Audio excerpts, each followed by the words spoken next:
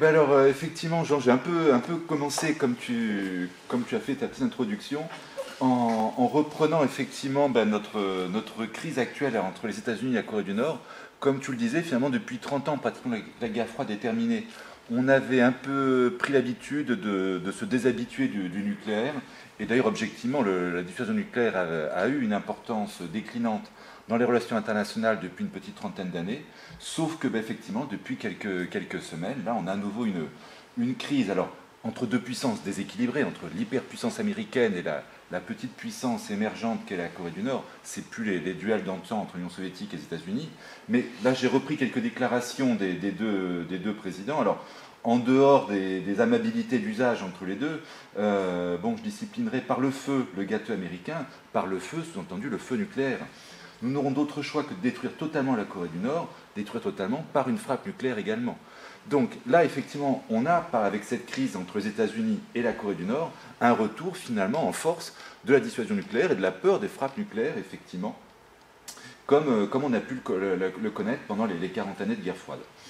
Alors, pour, euh, essayer de, faire un peu le point justement à la fois sur ce concept de dissuasion nucléaire et puis sur la prolifération nucléaire, donc je vous propose, justement un plan en deux parties où je vais aborder successivement ces, deux notions.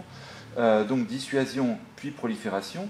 Alors dissuasion au cours de laquelle on va voir un peu le, cadre technique de la dissuasion, finalement qu'est-ce qu'une arme nucléaire, comment, comment s'opérerait une frappe nucléaire, et puis voir finalement sur le plan politique euh, ce que c'est ce concept de dissuasion nucléaire, et puis ensuite au niveau de la prolifération, quel est, le cadre juridique, et quels sont les deux cas qui depuis quelques années ben, finalement euh, alimente les relations internationales sur ce plan-là, c'est-à-dire l'Iran et puis la Corée du Nord.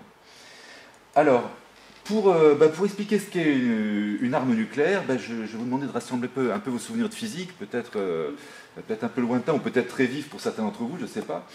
Euh, alors finalement, le, nucléaire, c'est quoi? Il bah, faut, redémarrer un peu sur, sur ce qu'est un atome finalement au départ. Alors un atome, je rappelle, finalement là c'est un atome de, de néon là, qui est représenté. Donc on a un noyau avec, de manière, euh, je dirais, conventionnelle, on représente en rouge les protons qui sont chargés positivement, en bleu les neutrons qui sont chargés de manière neutre, et puis autour on a des électrons négativement qui circulent, qui gravitent autour de cet atome. Alors certains de ces atomes ont la propriété d'être radioactifs. Radioactif, ça veut dire quoi? C'est-à-dire que spontanément, finalement, sans qu'on sache trop exactement pourquoi ça arrive à un atome plutôt qu'à un autre, ils vont se casser, ils vont fissionner en plusieurs atomes plus petits. Alors c'est quelque chose de relativement courant finalement dans le, dans le, dans le monde nucléaire. Euh, par exemple, si on prend le, cas du carbone, euh, vous avez plusieurs isotopes du carbone. Les isotopes, ce sont des atomes dont le nombre de neutrons varie. Alors par exemple, la plupart des atomes de carbone, c'est du, carbone 12, qui a 6 protons, 6 neutrons. Il y a du carbone 13, 6 protons, 7 neutrons. Puis il y a du carbone 14 avec 8 neutrons. Et le carbone 14 est radioactif, justement. Donc il va effectivement casser, fissionner euh, spontanément en atomes plus petits. Alors ce qui fait que notre propre corps, par exemple, est légèrement radioactif. 10% euh, du corps humain est constitué de carbone, et donc sur ces 10%, une petite partie est constituée de carbone 14, donc à une, échelle très faible bien entendu, mais tous les corps euh, humains, et, enfin, humains, animaux, végétaux, vont être très faiblement, très faiblement radioactifs. D'où l'intérêt, on connaît du carbone 14 en matière archéologique, puisqu'on connaît la quantité de carbone 14 qu'on a au départ, on connaît la vitesse à laquelle ce carbone 14 se désintègre, donc à partir de là, on peut dater effectivement la mort d'un animal ou d'un végétal à partir de là. Bon. Donc, euh, principe de, qui, qui, concerne ce, carbone 14 et qui va concerner encore plus euh, les atomes les plus lourds. Alors, parmi les atomes les plus lourds, non seulement ils peuvent être radioactifs, mais en plus ils peuvent être fissiles. Alors fissile, ça veut dire quoi? C'est-à-dire que sous l'effet, sous le choc d'un neutron, ils vont euh, se casser à leur tour et ils vont libérer de l'énergie et puis deux ou trois neutrons. Alors c'est le cas notamment à l'état naturel de l'uranium-135. L'uranium, il y a deux isotopes, le 235 et le 238. Le 238 ne présente très peu d'intérêt sur le plan de l'industrie nucléaire civile ou militaire. Par contre, le 235 est, si, est fissile, justement. Donc c'est-à-dire que de temps en temps, spontanément, il va y avoir un atome d'uranium-135 qui va, qui va fissionner, qui va libérer, de l'énergie, qui va libérer deux ou trois neutrons. Si ces neutrons rencontrent un autre atome d'uranium-135, le noyau fissionne à son tour, libère des neutrons, de l'énergie, ainsi de suite. Alors, à l'échelle naturelle, l'uranium-135 est très rare. Seulement 0,7% de l'uranium, c'est du 235. 99,3% de l'uranium, c'est du 238. Donc, à l'état naturel, euh, les, quelques fissions d'atomes 235 qui se produisent en temps n'ont aucun effet. Par contre, dans le cadre de l'industrie nucléaire, qu'est-ce qu'on fait? On va essayer d'enrichir l'uranium, donc d'accroître la proportion d'uranium-235 pour que justement les neutrons qui se libèrent aient une probabilité plus grande de rencontrer d'autres atomes d'uranium-235 et donc de provoquer leur fission, et donc d'enclencher ce qu'on appelle une, une réaction en chaîne. Alors, dans un réacteur nucléaire, par exemple, on va enrichir l'uranium, vous voyez 0,7% est naturel, on va enrichir l'uranium jusqu'à 3 ou 4% à peu près. Alors là, il n'y a pas d'explosion, simplement ça chauffe en fait. Comme la, probabilité que les, atomes se, détruisent les uns des autres est plus importante, il y aura plus de fission, et donc si vous, mettez la main sur un bloc d'uranium 135, bon, c'est chaud. Bon, si vous restez quelques secondes, vous risquez pas grand-chose. Euh, c'est chaud, effectivement, du fait de ces réactions. Alors, en accroissant la proportion, la proportion d'uranium 235, on va non seulement obtenir la chaleur, mais on va carrément obtenir une explosion. On obtient ça dans des armes nucléaires, et donc pour ça, il faut accroître la proportion d'uranium 235 jusqu'à plus de 90%. Donc on voit le processus d'enrichissement qui part de 0,7% pour arriver à 90%. C'est un processus très long, bon, évidemment très, difficile, mais là, de ce fait-là, quand on a une telle proportion d'uranium 235, là, on a un matériel qui peut provoquer une explosion. Alors comment obtient-on une, explosion nucléaire Il y a deux processus. Les deux processus qu'on avec les Américains ont trouvé tout de suite. Hein. Ça, c'est le schéma de la bombe d'Hiroshima. Ça, c'est le schéma de la bombe de Nagasaki. Dans la bombe d'Hiroshima, justement, on a pris de l'uranium. Donc, on a pris deux masses, euh, ce qu'on appelle des masses sous-critiques d'uranium-235, et on, a mis ça dans une sorte de canon. La, bombe d'Hiroshima, je ne sais pas si vous l'avez vu, la Little Boy, on l'appelle Little Boy, mais en fait, elle est très longue. En fait, c'est un canon qui faisait plusieurs mètres de long. Et donc, à une extrémité du canon, vous avez une masse d'uranium-135 qui est la cible, une autre masse qui est le projectile, et donc en faisant exploser un explosif classique chimique, on projette la masse d'uranium euh, projectile justement contre la cible. Au contact des deux, des deux masses, bah, les deux masses se compriment l'une contre l'autre. Comme la distance entre les atomes se réduit, à ce moment-là, les neutrons qui sont libérés, non seulement ils ne vont pas se perdre dans la nature, mais pratiquement à coup sûr, ils vont rencontrer d'autres atomes. Et là, effectivement, on a une explosion nucléaire. Alors cette même réaction est obtenue avec du plutonium. Avec le plutonium, euh, c'est plus compliqué à faire sur le plan industriel, mais l'explosion est plus efficace en quelque sorte en termes de ratio euh, matériel sur, euh, sur puissance. Sauf qu'avec le plutonium, on fonctionne un peu différemment. Là, c'est le dispositif qu'on a utilisé à Nagasaki. Donc là, on fait une, ce qu'on appelle une arme à implosion. On met un cœur de plutonium. Tout autour, on met des, lentilles donc d'explosifs, le même type que celui-là, un explosif chimique tout à fait classique tout autour, ce qui fait que là encore, on va avoir une explosion qui va se, propager vers le centre de, la bombe. Donc le cœur du plutonium va être comprimé. Là aussi, la distance entre les atomes de plutonium va diminuer, et donc les neutrons qui sont libérés vont frapper à coup sûr d'autres atomes, et donc là aussi, on a une explosion. Donc, vous voyez, ce sont les deux schémas qui existent, depuis, euh, depuis 70 ans maintenant, on est toujours à la base, c'est toujours un de, ces deux, un de ces deux schémas qui est utilisé, soit rapprochement, soit implosion. Aujourd'hui, la plupart des bombes utilisent ce schéma de l'arme à implosion. Alors avec ça, donc petite précision, le plutonium a à peu près les mêmes, plutonium 239, là aussi il y a plusieurs isotopes, mais le plutonium 239 a à peu près les mêmes propriétés euh, physiques que le 235, que l'uranium 235, donc on peut l'utiliser euh, sans, problème. Alors là, avec ça, on a des armes dites nucléaires, qu'on appelle aussi improprement bombes atomiques. Alors, bombe atomique, c'est pas tellement des bombes atomiques, parce que la réaction ne se fait pas au niveau de l'atome, mais au niveau des nucléons. Justement, les nucléons, ce sont les protons et les neutrons. C'est pour ça que le terme nucléaire est beaucoup plus justifié. Donc on a des armes nucléaires. Donc ce sont les armes qu'ont utilisées, euh, qu'ont utilisées les Américains à la fin de la Seconde Guerre mondiale, et ça a été les premières armes nucléaires que les, différentes puissances ont eu à leur disposition. Simplement, on s'est rendu compte très vite, et même d'ailleurs avant même qu'on fabrique ces deux bombes, on s'est rendu compte qu'on pouvait obtenir des bombes encore plus puissantes, non pas en faisant la fission d'atomes lourds, mais à l'inverse en faisant la fusion d'atomes légers. Alors c'est-à-dire que là, on part d'hydrogène, et plutôt que de casser des atomes lourds, donc on va faire fusionner les atomes légers. Donc en gros, on prend l'hydrogène, et en le mettant, en le soumettant cet hydrogène à une très forte pression, on va le faire transformer en hélium en fait. Et avec, bon, c'est ce qui se passe dans le, Soleil. Dans le Soleil, comme vous le savez, le Soleil, c'est une énorme masse d'hydrogène qui, à chaque seconde, convertit des, milliers de tonnes d'hydrogène en hélium, justement. Quatre atomes d'hydrogène vont donner un atome d'hélium, et cette façon, on libère une énorme énergie, ce qui fait que bah, depuis 5 milliards d'années, on reçoit lumière et chaleur. Alors, on est parti sur, cette logique-là. Alors là, on va avoir des armes qui vont tendre vers les armes thermonucléaires. Alors, on n'est pas passé aux armes thermonucléaires tout de suite. À partir des armes de première génération, celles que je viens de vous décrire, vous voyez qui marchent soit avec de l'uranium hautement enrichi, UHE, soit avec du plutonium, on pouvait obtenir déjà des armes de seconde génération. C'est-à-dire, tiens, je reviens un petit cran en arrière, c'est-à-dire que lorsqu'on a ce, ce plutonium, on s'est rendu compte que si on mettait un petit peu d'hydrogène lourd à côté, euh, l'hydrogène lourd, c'est l'hydrogène avec un, atome de, un, neutron en plus du proton, on allait avoir une, émission de, neutrons supplémentaires qui allait euh, doper en quelque sorte la, réaction du plutonium. Ce n'est pas une explosion thermonucléaire encore, mais c'est une bombe, euh, une bombe nucléaire dopée ou expansée, on lui donne plusieurs noms, et donc on va, on va accroître le rendement de l'arme. Alors, voyons, on mesure la puissance d'une bombe en équivalent TNT. Donc le TNT, c'est l'explosif classique assez couramment répandu. Lorsqu'on a une arme de première génération, donc celle que je vous parlais, eh ben, on a une bombe qui, pour l'essentiel, a une, explosion qui a l'équivalent de 20 000 tonnes de TNT. Donc on parle de 20 kilotonnes. Vous voyez, kilotonnes, donc 1000 tonnes. Donc la bombe d'Hiroshima, par exemple, avait une puissance de 13, 000 tonnes de TNT, donc 13 kilotonnes. Celle de Nagasaki, 22 kilotonnes, 22 000 tonnes de TNT. Donc c'est à peu près l'ordre de grandeur qu'on a ici. Avec ces bombes expansées que je commençais à vous décrire, on a des bombes justement dont la puissance s'approche des 100 kilotonnes. Donc là, on vous met 40 à 80 kilotonnes, on a des bombes de ce type-là. Simplement, après, on peut essayer de passer à des armes véritablement thermonucléaires. Alors, c'est le schéma que je donne en dessous. Alors, je me hasarde à, me lancer aux explications, c'est un peu plus compliqué, mais enfin, dans le principe, c'est encore, euh, relativement, accessible malgré tout.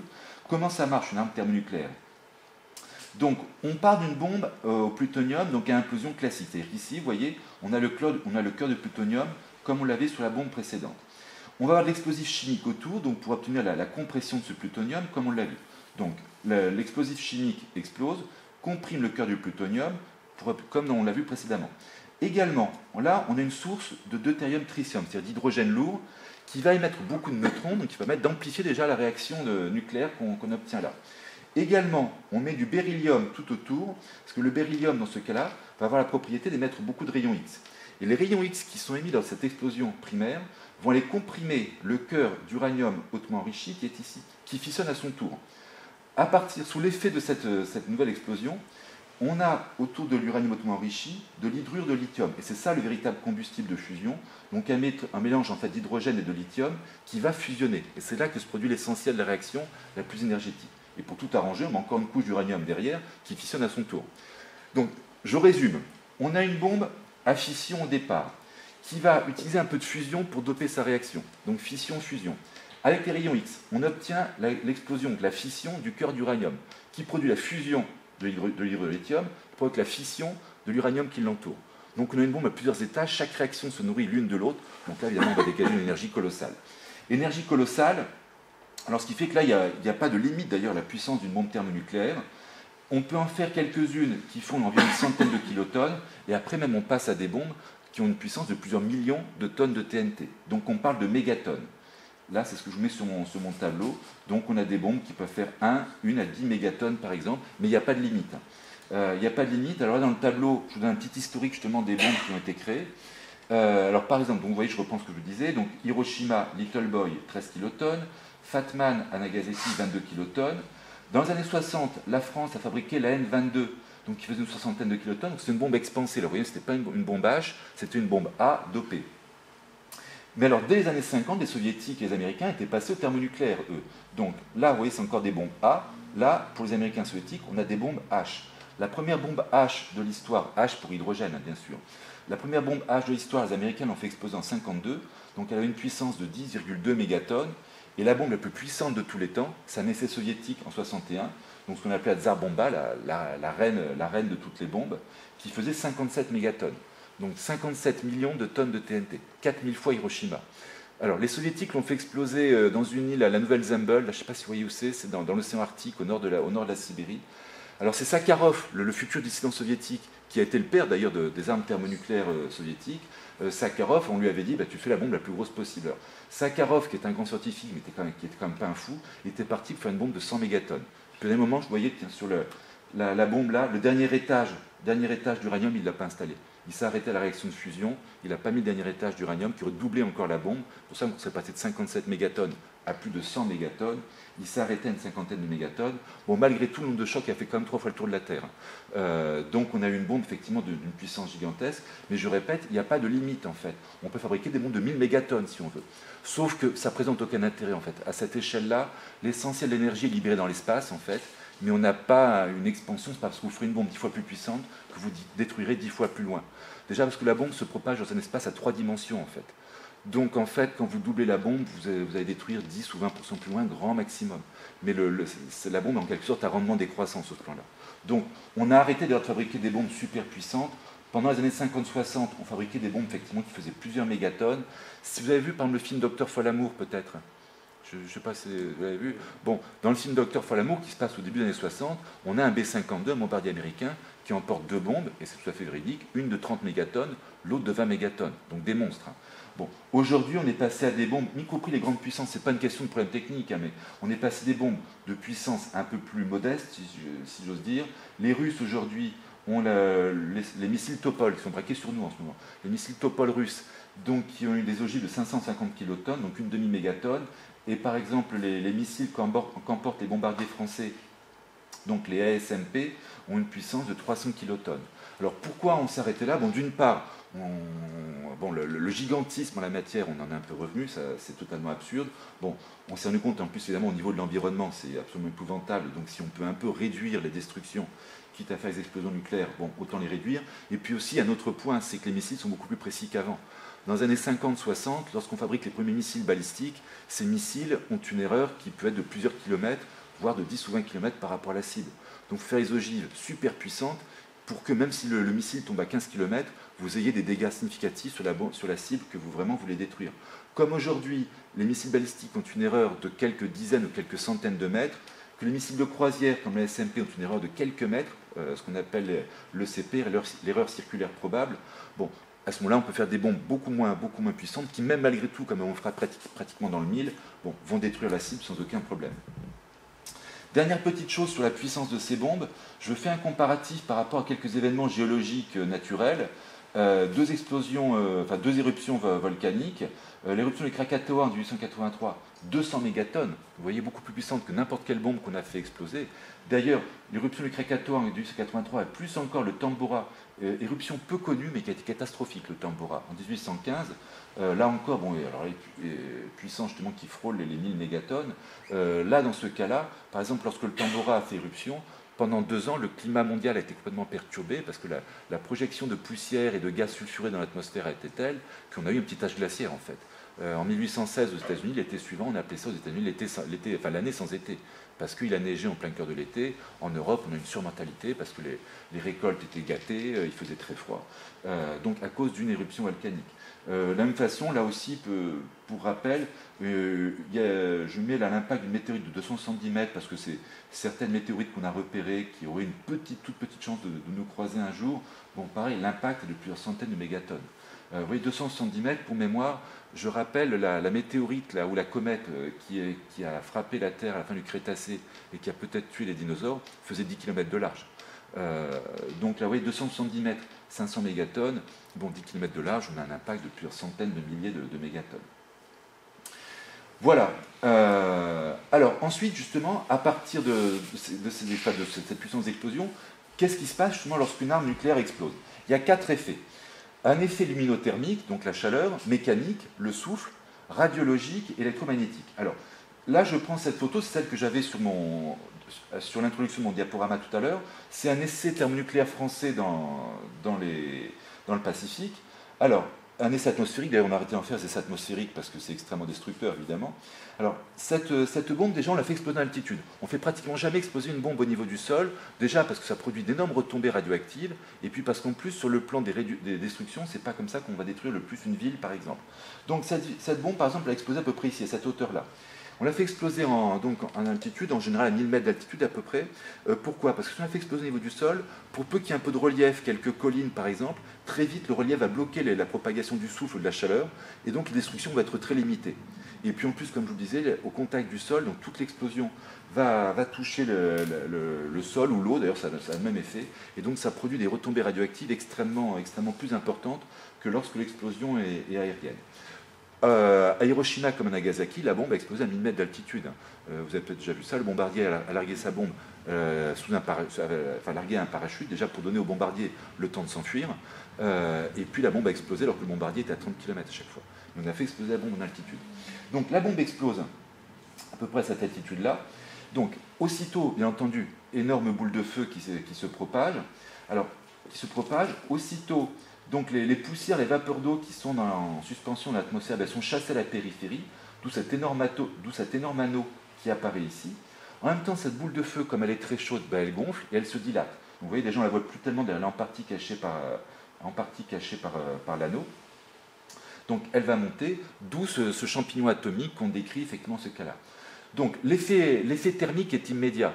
Euh, s'il y a une explosion nucléaire, d'ailleurs, bon, évidemment, quand il y a une explosion, une source de lumière, on a le réflexe de se tourner vers la lumière. Si on peut éviter, c'est ce qu'il ne faut pas faire, parce que bon, ben, le dégagement lumineux est tellement important qu'on peut devenir aveugle si on a une distance relativement faible, parce que le dégagement luminothermique est tel que la cornée de l'œil fond en fait. Euh, donc, euh, donc, même si on est épargné physiquement par l'explosion, on peut devenir aveugle à cause d'une explosion de, ce type-là. Donc l'effet luminothermique est immédiat. Tout de suite après, vous avez l'effet de souffle, l'effet mécanique. Alors en gros, 35% de l'énergie libérée sous forme luminothermique, 50% sous forme mécanique, Ensuite, vous avez le dégagement radiologique. Donc, ce sont justement les, rayonnements X, gamma, qui sont extrêmement euh, dangereux, bien entendu, pour toute forme euh, de vie animale ou végétale, qui seront d'autant plus importants, je le répète, si l'explosion est au niveau du sol. Et puis également un effet électromagnétique. c'est-à-dire qu'on va avoir une ionisation de l'atmosphère et que tous les appareils électromagnétiques, enfin électroniques, pardon, qui sont à proximité vont tomber en panne. Cet effet électromagnétique, par exemple, on peut le rechercher volontairement. Euh, si, par exemple, on imagine, dans le cas, euh, dans le pire des scénarios, une guerre majeure entre grandes puissances, entre la Russie et les États-Unis, les premières bombes qui frapperaient le territoire russe ou américain seraient des bombes qui, ne frapperaient pas le sol d'ailleurs. On les ferait exploser à 160 km d'altitude, à très haute altitude. Pourquoi? Parce qu'à cette altitude-là, toute énergie est libérée sous forme électromagnétique. Et puis, ça a un rayon d'action très grand. Donc par exemple au niveau de la France, vous faites exploser deux ou trois bombes à très haute altitude au-dessus de la France, et pratiquement sur tout le territoire, tous les appareils électroniques tomberont en panne, parce que ça provoque un pic d'intensité dans, les circuits qui sont grillés par ce, pic-là. Donc derrière, ben, mon ordinateur ne marche plus, nos portables ne marchent plus, il faut, il faut tout, rétablir. on peut mettre en place des circuits protégés contre ces impulsions électromagnétiques, mais ça coûte très cher. Les circuits, euh, militaires, certains circuits euh, spéciaux sont protégés, la plupart des infrastructures civiles ne sont pas protégées. D'ailleurs, les bombardiers eux-mêmes, un bombardier nucléaire, ce n'est pas un bombardier comme les autres. C'est un bombardier dans lequel les circuits électroniques sont eux-mêmes protégés contre ces pics électromagnétiques. Euh, voilà.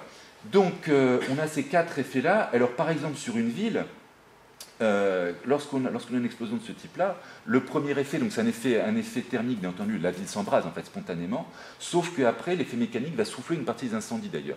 Sur une partie des incendies, sauf qu'on va avoir donc un, souffle très important de, l'explosion vers l'extérieur, et après, comme il y a un vide qui s'est créé, il va y avoir une phase de contraction. Je ne sais pas si vous avez déjà vu des vidéos en la matière, on voit d'ailleurs, il y a ce, mouvement-là, euh, on voit par exemple filmé sur des arbres ou des maisons, il penche d'un côté sous l'effet du souffle vers l'extérieur de l'explosion, puis quelques secondes après, ben, l'air se précipite, se précipite euh, vers le centre de l'explosion, il y a un vide qui s'est créé, et donc cet effet d'ailleurs dans les deux sens qui, fait écrouler la plupart des, bâtiments. Alors, à partir de là, on peut faire une simulation sur une ville. Alors j'ai pris notre bonne ville de Perpignan pour faire, euh, pour faire une simulation, ville que vous connaissez mieux que moi, en imaginant une frappe de 13 kilotonnes, donc la puissance d'Hiroshima, sur Perpignan. Alors, euh, alors c'est un environnement que vous connaissez mieux que moi, donc ça vous parlera plus. Alors, sur une bombe, alors je répète, Hiroshima euh, donc frappe relativement peu puissante, 13 hein, kilotonnes, on a vu qu'on pouvait faire bien pire que ça. Alors là, vous voyez, les différents cercles distinguent les différents effets. Alors les cercles rouges, c'est le cercle à l'intérieur duquel tout est brûlé par, euh, par, l'explosion. Quand je dis brûlé, c'est que la température atteint plusieurs milliers de degrés, à tel point que le verre fond, pardon, pas le verre, le sable fond, le sable se transforme en verre justement.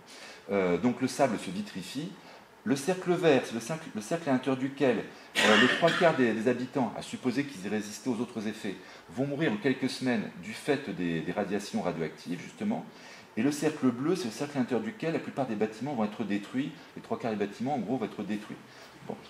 Euh, le cercle orange, c'est le cercle à l'intérieur duquel on peut avoir des brûlures au troisième degré et puis incendies spontanés qui vont, qui vont encore se déclarer. Euh, vous voyez notamment ce que je vous disais tout à l'heure sur l'effet de souffle. Bon, donc dès que la bombe explose, toute cette zone-là va s'enflammer.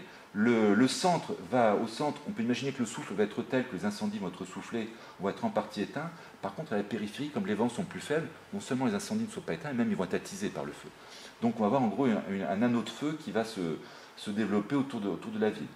Alors néanmoins, comme je le disais, Bon, 13 kilotonnes, la frappe n'est pas énorme. Alors là, évidemment, pour une ville de taille moyenne comme Perpignan, bon, l'essentiel de la ville est quand même détruit, mais les villages de la périphérie, bon, seraient à peu près, à peu près intacts. Saint-Estève, l'aéroport aussi, tout ça serait à peu près intact. Deuxième scénario que j'envisage, euh, frappe avec un missile russe contemporain Topol, donc avec une frappe de 550 kilotonnes. Bon, là évidemment, euh, on, change d'échelle complètement. Donc là déjà, pratiquement toute la ville est détruite par, euh, l'effet thermique. Hein. Donc sur pratiquement toute la ville, on a la température qui monte à au moins 5 ou 6 000 degrés. Donc là sur Perpignan, il n'y a pratiquement personne qui survit, ne serait-ce qu'à cause de la température. chose intéressante, sur une explosion plus puissante, l'effet radio, radiologique est plus limité. C'est l'effet mécanique et thermique qui l'emporte. Donc plus la bombe est puissante, plus elle est relativement propre, entre guillemets. C'est-à-dire que l'effet mécanique et thermique l'emporte sur les retombées radioactives. Bon, par contre, là, vous voyez, ce cercle bleu, c'est le cercle à l'intérieur duquel la plupart des bâtiments vont être détruits. Donc là, les villages de la périphérie sont, largement détruits aussi. Hein. Toulouse, l'aéroport. On peut imaginer en plus qu'à l'aéroport, euh, les réserves de carburant par vont s'enflammer, euh, etc toutes les stations-service ou les pinettes qui sont dans, cet anneau orange vont s'enflammer également. Donc là, on aura effectivement un truc d'ailleurs qu'on a observé souvent dans les, villes allemandes et japonaises qu'on a bombardées pendant la guerre, c'est une véritable tempête de feu.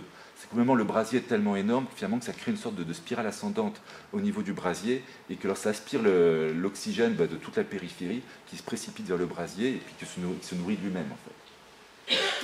Euh, D'ailleurs, par rapport au bombardement de la Seconde Guerre mondiale, une frappe nucléaire aujourd'hui aurait à la fois plus et moins d'effets sur une ville contemporaine. Moins d'effets parce que les villes allemandes comme japonaises étaient finalement pour l'essentiel construites en bois. Donc relativement fragiles, très inflammables. À ce niveau-là, c'est très vulnérable à des bombardements euh, classiques ou nucléaires d'ailleurs. Euh, donc sur ce plan-là, nos villes contemporaines seraient plus solides, plus résistantes. Par contre, la, prolifération en quelque sorte de notre environnement de matériaux euh, plastiques qui sont très inflammables, qui dégagent beaucoup d'énergie en brûlant, puis qui en plus qui dégagent des fumées toxiques, eux seraient par contre une source d'incendie beaucoup plus, beaucoup plus inquiétante. Alors, mon petit scénario, je, vous le présente également pour Montpellier. Bon, je passe un peu plus vite puisque. Mais alors pareil, bon, avec une frappe donc 13 kilotonnes sur Montpellier, sur une grande ville comme Montpellier, ça veut dire qu'une bonne partie de la ville serait relativement indemne, entre guillemets. Euh, pour ceux qui connaissent Montpellier, le quartier hôpitaux faculté, le Grand M, etc. Euh, la rive gauche du Lèze, serait, bon, il y aurait par exemple des vitres qui casseraient, euh, quelques incendies localisés, mais les, dégâts seraient relativement limités. En cas de, puissance, enfin d'explosion de 550 kilotonnes, là, bon, pareil, les dégâts seraient absolument gigantesques. Euh, nos, conférences à Palavas, euh, Palavas en partie incendie, incendiée également. moi qui habite un petit peu au nord de Montpellier, bon, les, pinettes s'enflammeraient également. Euh, bon, là, évidemment, les, dégâts sont, gigantesques, bien entendu. Et l'aéroport, là aussi, serait, intégralement brûlé, avec des incendies dans les dépôts d'essence, etc. Bon, alors ensuite, comment s'effectue une frappe nucléaire? Qu'est-ce qu'on a comme moyen, euh, à la fois historiquement et puis à l'époque contemporaine, pour réaliser une frappe nucléaire eh Finalement, le moyen euh, quasiment idéal, si j'ose dire, et qui, est apparu au même moment que les armes nucléaires, ben, c'est les missiles balistiques. Quand je dis au même moment, c'est au moment où les Américains finalisaient la, fabrication des premières armes nucléaires, ben, les Allemands finalisaient la fabrication des premiers missiles balistiques, en l'occurrence les V2. Alors heureusement d'ailleurs qu'il n'y a pas eu le même pays au même moment qui a fabriqué les, deux en même temps, ça aurait, conduit à des frappes à la fin de la Seconde Guerre mondiale qui auraient été terribles. Alors un missile balistique, c'est quoi? Ben, C'est ça. Alors un missile balistique, dans le principe, c'est pas différent d'un lanceur spatial type Ariane en fait. Donc ça s'appelle balistique, pourquoi? Parce qu'on va, ben, euh, essayer de lutter, euh, enfin lutter ou jouer sur les forces balistiques donc liées à l'attraction terrestre. Alors, pour euh, les, V2 par la Seconde Guerre mondiale, c'est des fusées très simples qui étaient des fusées d'un seul tenant. Donc, il y avait une portée limitée justement parce que moi, la fusée décollait, puis elle arrivait enfin, sous, même, du même, comment sous la même forme sur l'objectif. Les fusées contemporaines, notamment les missiles type, enfin les fusées type Ariane, c'est des fusées à plusieurs étages plusieurs étages. Pourquoi? Parce qu'évidemment, si on veut aller plus haut, ben, il faut emporter plus de carburant. Et plus on emporte de carburant, plus la fusée est lourde, donc finalement, il n'y a pas de gain. Donc l'idéal, ben, c'est de plusieurs étages. Lorsque la fusée décolle, on consomme le carburant de l'étage A. Quand l'étage A est vide, il tombe, donc la fusée est plus légère. On consomme ensuite le carburant de l'étage B, puis ainsi de suite. Donc on peut faire des fusées à 2, 3, 4 étages. Et donc au fur et à mesure que les étages se vident de leur carburant, ben, la fusée s'allège, et puis donc on peut avoir des portées beaucoup plus importantes. Donc soit on peut lancer satellite y compris à très haute altitude. Les satellites qui nous entourent, ils sont soit quelques centaines de kilomètres, soit à 36 000 km. Les satellites sur orbite géostationnaire, ils sont à très haute altitude, à 36 000 km. Donc là, il faut des, fusées très puissantes pour les lancer. Donc soit on les utilise pour, euh, pour faire des frappes nucléaires. Donc, notre missile nucléaire décolle alors de, ce qu'on appelle un silo, c'est-à-dire que pour protéger le missile, on creuse un trou dans le sol et euh, alors trou évidemment qu'on durcit, qu'on protège par une, porte métallique à l'intérieur duquel le missile est protégé. Donc le missile est lancé depuis, depuis ce silo, Il va donc libérer ces différents étages au fur et à mesure. Euh, les ogives vont se libérer dans l'espace. Le, missile va atteindre une altitude d'environ 1000 km. Donc les ogives vont se libérer dans l'espace. Je dis les ogives parce que maintenant, à bord d'un même missile, euh, par souci d'économie puis d'efficacité militaire optimale, un seul missile. Donc, arrivé à 1000 km en gros, le, le missile libère ses ogives qui peuvent suivre chacune une trajectoire différente. Alors, différente, il n'y en a pas une qui va partir à Paris et puis l'autre à Los Angeles. Euh, si par exemple les Russes font une frappe sur la France, en gros, surtout une frappe de type, euh, enfin, sur un axe est-ouest, on peut imaginer par exemple que les missiles, enfin que les têtes nucléaires vont s'échelonner entre Strasbourg et Paris, par exemple. Euh, bon.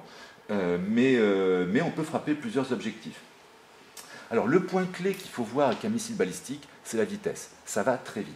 Un missile balistique en vitesse de pointe, ça fait du 30 000 km/h. Euh, même les missiles type V2, qui étaient pourtant des missiles primitifs, si j'ose dire, ils faisaient déjà du 5000 km/h. Ce qui veut dire, par exemple, que par rapport au V1, vous avez vu à la fin de la Seconde Guerre mondiale, les Allemands fabriquaient des V1, qui sont les ancêtres des missiles de croisière, et puis des V2, qui sont les ancêtres des missiles balistiques. Un V1, bon, ça faisait du 600-700 km/h, ce qui fait que d'ailleurs, des fois, les, avions britanniques assez rapides arrivaient presque à les, intercepter. Il fallait un coup de chance, mais ils arrivaient à les intercepter. Et puis, bon, on le voyait venir. Bon, bah, avec la DCA, parfois, on arrivait à en abattre certains. Avec le V2, rien à faire. Rien à faire, surtout qu'on ne l'entend pas venir. Il va cinq fois plus vite que le son. Donc, quand les V2 s'abattaient sur l'onde, bah, à un moment, il y avait une énorme explosion. On n'avait rien entendu. Le, V1, on l'entendait venir. Là, il n'y avait, avait rien. Et donc 5000 km/h, avec les missiles balistiques à longue portée contemporaine, on va six fois plus vite. Donc une guerre majeure entre la Russie et les États-Unis, par exemple, ne durait qu'une demi-heure. Entre le moment où le missile part et son impact sur le territoire russe ou américain, donc avec 10 000 km de distance entre les deux, ça ne met que 26 minutes en fait. Pire, s'il y a un sous-marin qui arrive au large des côtes de, la puissance visée, le missile ne met que 6 minutes pour atteindre sa cible. Euh, donc, ce fait ça pose même un problème d'ailleurs en termes de gestion politique. Imaginons une frappe russe, par exemple, sur la France. Imaginons que les Russes aient réussi à approcher un, sous-marin euh, lanceur de missiles dans le golfe de Gascogne qui ne s'est pas fait repérer et qui tire sur Paris. C'est-à-dire que euh, Emmanuel Macron a que 6 minutes pour réagir soit avant euh, bah, de, s'enfoncer dans son PC sous l'Elysée, il y a le PC Jupiter, qui est le PC de crise. S'il a le temps de se précipiter dedans, il peut encore y aller, à supposer qu'il n'y ait pas un tir direct sur le PC, parce que là, il, sera tué aussi. Mais il a, juste le temps, éventuellement, d'ordonner un tir de, riposte, de contre-attaque, avant d'être tué lui-même. Donc la, la gestion de crise en cas d'attaque nucléaire, le décideur, il faut le protéger. Alors, toutes les grandes puissances, sous le Kremlin, il y a un PC de crise, sous l'Elysée, c'est pareil, à Washington, c'est Maison Blanche. Euh, les, Français et les Russes essayent de privilégier justement en fait, ces, PC en, profondeur. Les Américains privilégient l'évacuation par air. On a déjà vu ça dans les films, quand il y a une grosse crise. alors là, dans les films, ça fait bien. Là, on embarque le président, on met dans un hélico, on l'amène sur un aéroport, et hop, il s'envole à bord d'Air Force One, le, Boeing aménagé pour les, crises aux États-Unis, et le, président américain continue la, guerre depuis son Boeing de, crise. Alors bon, pourquoi pas l'un ou l'autre, il n'y a pas de, solution géniale, sauf qu'il faut être capable de réagir très vite. Alors, soit on peut fuir ou s'enterrer à temps et on, on, conduira la guerre après avoir survécu la première frappe, soit on va être tué parce qu'on se rend compte qu'on n'aura pas le temps, à ce moment-là, il faut réagir immédiatement. Alors d'où la fameuse mallette qu'on a tous vue, là, tous les grands présidents effectivement de, puissance nucléaire ont la mallette à leur disposition. Je dis le, le schéma, c'est 5 minutes quoi on compte 6 minutes en cas de frappe sous-marine depuis un sous-marin. Donc en gros, il faut, réagir en moins de 5 minutes, sinon on peut être tué, ne pas pouvoir riposter et donc être désarmé. Le, schéma de rêve, en quelque sorte, qu'ont connu les, stratèges, russes et américains pendant la, guerre froide, c'est d'arriver à désarmer l'adversaire, de lancer une frappe surprise qui, détruirait les bases euh, ennemies ou même qui, tuerait le président ennemi, et puis ce qui fait que l'autre sera incapable de réagir et après on lui dicte ses conditions. Bon, et donc pour ça, le, missile balistique est l'arme idéale. Alors, donc il y a les missiles balistiques euh, qu'on tire depuis le sol. Alors quand on parle, de missiles balistiques euh, tirés depuis le sol euh, à longue portée, on parle d'ICBM, missile balistique intercontinental. Alors, vous voyez, ça va tellement vite. Là, c'est une photo qui a été prise dans un exercice. C'est un, missile américain qui contenait 9 ou 10 têtes nucléaires. Et là, c'est la photo qui est prise lorsque les, têtes, alors c'est des têtes inertes, hein, bien sûr. Hein. Lorsque les têtes inertes bah, touchent le sol, ça tellement vite, c'est comme des météorites, quoi, en fait. Hein. Donc ça chauffe en rentrant dans l'atmosphère. Là aussi, au niveau technologique, il y ait des têtes nucléaires qui soient capables de résister à l'échauffement quand ça va rentrer dans l'atmosphère à 10 ou à 1000 km/h. Donc ça, fait des, véritables traits de comète. Euh, cette photo n'est pas, du tout, pas du tout travaillée, c'est vraiment une photo au, premier degré. Alors, si on ne tire pas justement les missiles balistiques depuis, depuis le sol, ben, comme je vous le disais, on peut tirer depuis un sous-marin. Donc là, c'est un, missile Trident américain qui, au, au décollage, lancé. Alors, le sous-marin est en plongée en plus, il n'y a même pas besoin que le sous-marin soit en surface pour tirer. Il peut tirer depuis, depuis les profondeurs, donc évidemment, il est extrêmement peu vulnérable. Euh, donc là, c'est une photo avec un missile Trident américain. Et là, je vous présente donc une photo d'un sous-marin français triomphant, donc qui est, la classe actuelle de sous-marins, ce qu'on appelle en France les SNLE, sous-marins nucléaires lanceurs d'engins, donc SNLE NG, même de nouvelle génération, donc qui sont les sous-marins français tireurs de missiles balistiques. Chaque sous-marin emporte 16, 16, missiles. Dans chaque missile, on peut emporter 6, 6 têtes nucléaires. En moyenne, généralement, on en prend 5. Et chaque tête nucléaire a 150 kilotonnes de puissance. 150 kilotonnes, c'est 12 fois Hiroshima. Donc, c'est-à-dire que chaque, euh, chaque sous-marin a une puissance de feu d'environ euh, pratiquement 100 têtes nucléaires. Donc, on a, plus de 1000 fois Hiroshima par sous-marin. On a 4 sous-marins, seulement 3 jeux de missiles. Hein, comme, euh, comme on n'a que, que 4 sous-marins, 3 jeux, de, jeux de missiles suffisent. Je vous en reparlerai tout à l'heure. Alors, si on n'utilise pas des missiles balistiques, qu'est-ce qu'on utilise? Ben, Généralement, on utilise des missiles de croisière. Alors, les missiles de croisière, ben, je vous en parle tout à l'heure, lorsque je parlais du V1 allemand, donc ben, ça ressemble un peu à ça. Donc le missile de croisière, c'est une sorte de, petit avion avec des, petits moignons d'ailes sur les côtés. Donc là, c'est une photo d'un Tomahawk américain, là en l'occurrence un Tomahawk acheté par la, Royal Navy. Alors, l'avantage et l'inconvénient du missile de croisière par rapport au missile balistique, euh, c'est beaucoup moins encombrant déjà. Le missile balistique, bon, c'est vraiment, euh, ça fait au minimum 10 mètres de haut déjà. 10 mètres de haut, ça pèse plusieurs tonnes, plusieurs dizaines de tonnes. C'est sûr, c'est une portée très longue, c'est très puissant, c'est très rapide. Et en termes d'encombrement, euh, le sous-marin dont je vous ai parlé, là, il fait quand même 16 000 tonnes. Les plus gros sous-marins, par le plus gros sous-marin lanceur d'engins, c'est les sous-marins russes de la classe Typhon qui faisaient 30 000 tonnes. 30 000 tonnes, c'est le déplacement des porte-avions américains pendant la Seconde Guerre mondiale. c'est vraiment, des, monstres. Il faut des monstres. Hein. Pour mettre des, missiles d'une telle taille dans un sous-marin, il faut vraiment des sous-marins gigantesques. Tellement gigantesques que déjà, il n'y a que les grandes puissances qui peuvent se les payer. Et puis, euh, bon, euh, en termes de, de discrétion, c'est pas terrible. Alors, donc du coup, le missile de croisière, ça, ça, fait 4-5 euh, mètres de long, voire même il y a des modèles beaucoup plus petits. Les modèles français font, font 2-3 mètres de long. Euh, donc c'est beaucoup, beaucoup, plus, beaucoup moins encombrant, beaucoup moins cher. En plus, c'est beaucoup plus précis. Un missile balistique, donc vous voyez comme ça, comme son l'indique, bon, ben, on le lance et après ça retombe sous l'effet de la gravité. Alors, de plus en plus, on a visé la précision, c'est très bien, mais sous l'effet de la gravité, quand on tire à 5 ou 10 000 km, c'est sûr que si on tombe à 50, 100 mètres ou 200 mètres, oui, c'est inévitable. Bon, le missile de croisière, lui, il frappe à quelques mètres près, voire vraiment, mais parfois au mètre près. Donc c'est extrêmement précis. Par contre, l'inconvénient, c'est que c'est lent. Ça va à la vitesse d'un avion. Donc ça vole à 800, à 800 km/h à peu près. Euh, donc, bon, ben euh, oui, c'est précis, mais oui, on peut l'abattre. Euh, ça vole à très basse altitude, ça vole à quelques dizaines de mètres d'altitude, donc c'est peu vulnérable parce que bon, ben, 800 mètres, 800, enfin 20 ou 30 mètres d'altitude, on le verra arriver depuis la mer. Bon, oui, on le voit arriver, mais on n'a pas le temps de réagir. Donc même les radars, comme c'est très, très près du sol, les radars le détectent difficilement. Donc c'est peu vulnérable, mais c'est vulnérable quand même. Alors du coup, comme euh, c'est peu encombrant, ben, on, peut les, on peut les lancer depuis plusieurs vecteurs. Alors on peut les lancer, alors tiens, là je le garde en réserve, on peut les lancer depuis un avion. Là, la, photo que je vous présente, c'est un bombardier américain, le B2. Alors c'est un, bombardier furtif, alors évidemment forme extrêmement, extrêmement bizarre. Alors c'est une forme notamment le, ce qu'on appelle le bord de fuite, là comme vous voyez c'est un, un bord de fuite en double W. Il y a un W ici, un W là. Alors c'est pour accrocher minimum les ondes radar. Donc tout est étudié sur cet avion pour que les ondes radar ne l'accrochent pas. Donc la forme est très bizarre. Il est peint avec une peinture qui absorbe les ondes radar, une peinture qui coûte 6 000 dollars le litre. Hein. bon, L'avion coûte 2 milliards de dollars. Hein. Euh, donc euh, là, vous voyez un, Airbus à 320, les petits avions qu'on voit là qui volent sous nos têtes, ça coûte environ 100 millions de dollars. Là, celui-là, il coûte 2 milliards de dollars, c'est l'avion le plus cher de tous les temps. Euh, bon, d'ailleurs, les Américains n'ont fabriqué que 21. Au début, ils voulaient fabriquer 100 au départ, puis quand ils ont vu le prix, bon, ils se on arrête à 21, ça suffira largement.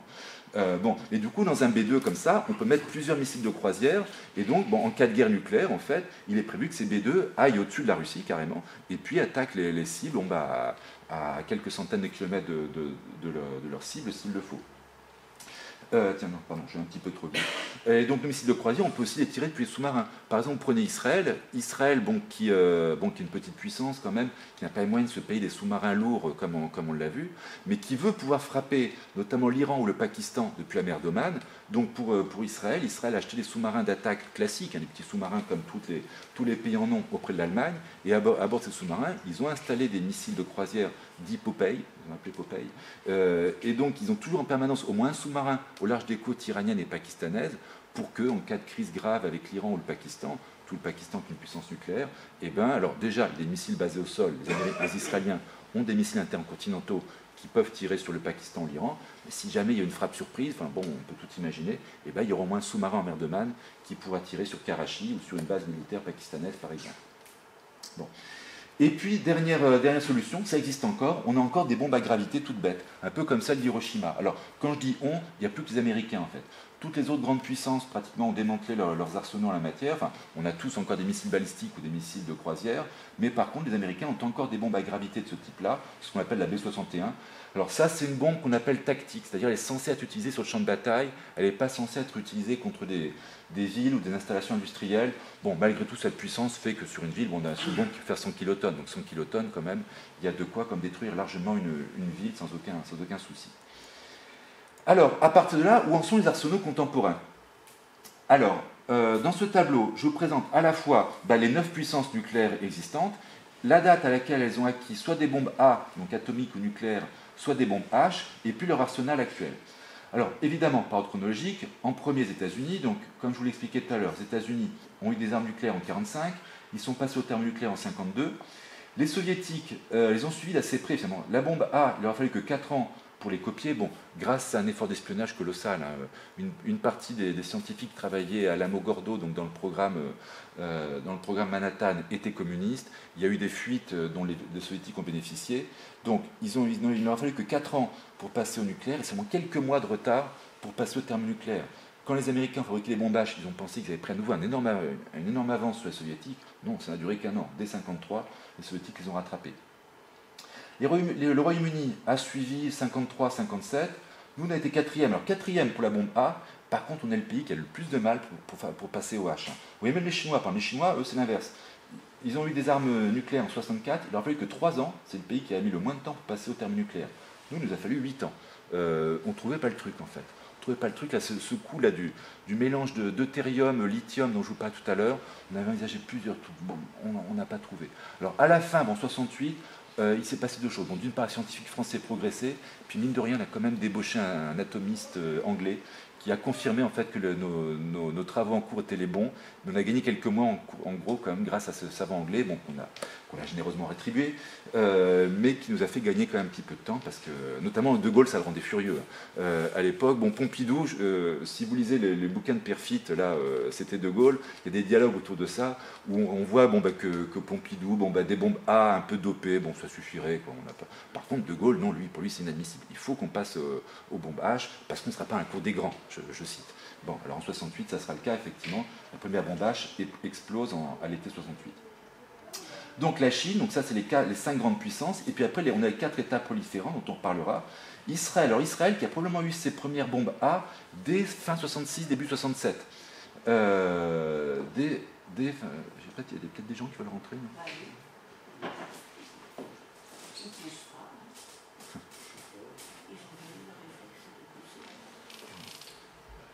eu des, ses premières armes nucléaires, probablement fin 66, début 67, ce qui veut dire que lorsque la guerre des six jours a éclaté, en juin 67, Israël avait déjà certainement deux armes nucléaires. Bon, rudimentaires, mais ils avaient déjà justement une super, un super euh, euh, joker en quelque sorte à abattre au cas où la guerre aurait mal tourné.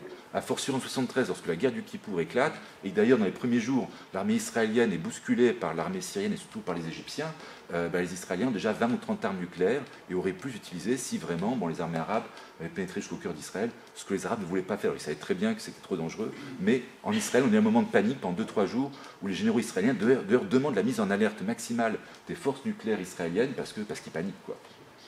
Ils paniquent, mais ils n'ont pas paniqué au point de les utiliser. Donc là, quand même, justement, la guerre du Kippour, c'est un, très bon test en quelque sorte, c'est-à-dire qu'une puissance nucléaire, même menacée dans son existence propre, au moins elle le croit, n'a pas utilisé des armes nucléaires. Donc euh, la sagesse en quelque sorte des dirigeants a joué et, euh, l'apocalypse n'a pas été déclenché. Alors ensuite, les deux frères ennemis, un des Pakistan, euh, qui ont eu leurs armes dans les années 70, enfin 74 pour l'Inde, fin des années 80 pour le Pakistan, et puis la Corée du Nord dont on, parlera, dont on reparlera aussi. Je reparlerai un petit peu du Pakistan également. Au niveau des arsenaux, où est-ce qu'on en est? Bon, les arsenaux ont très nettement diminué. Je développerai ça un peu tout à l'heure. Donc aujourd'hui, les États-Unis comme la Russie ont un petit peu moins de 2000 têtes nucléaires. Euh, un petit peu moins de 2000 têtes nucléaires. Euh, bon, les, arsenaux se valent à peu près.